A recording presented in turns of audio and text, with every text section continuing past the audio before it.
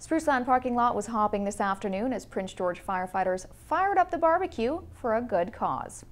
They're raising money for the Burn Fund, which will go to fund a new building in Vancouver, which will house burn victims and their families to stay while recovering. The local firefighters union has pledged to raise tens of thousands of dollars for the cause and is hoping to raise 2,000 today alone. Prince George firefighters have made a pledge to the Burn Fund, a three-year pledge of $100,000 commitment.